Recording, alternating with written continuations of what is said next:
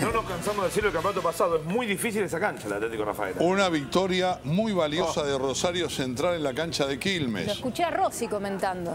Garnier le cede la pelota Oh. a Castillejo, Helio, Sí. en el área, se saca de encima a Perata y remata por arriba del travesaño Sí, a- increíblemente. A, Becasí se quedó y el arquero también. Este, intervienen los tres eh, antes de Zapito Encina para poner el Qué partido. jugador Zapito Encina, por favor. Cuando digo los tres me refiero a Delgado, a Carrizo y antes a Méndez. Los tres jugaron muy bien y fue el sector por el cual Central pudo haber sacado una ventaja mucho mayor en el primer tiempo. Este es este remate de Méndez. Otra Méndez que le cancha pega. vacía, ¿no? Qué tristeza y qué, qué feo es el fútbol sin gente, ¿no?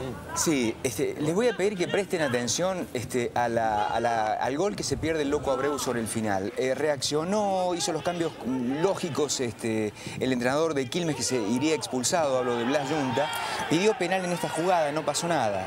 En realidad no pasó nada. Acá lo expulsan a Junta por protestarle a Darío Herrera, el árbitro. Tenés que cobrar penal nada más. No pasó nada en la jugada, ¿eh? ni en cámara lenta, ni en la cámara normal, ni nada, no pasó absolutamente nada. Este es González que desborda y Caranta mete un manotazo salvador.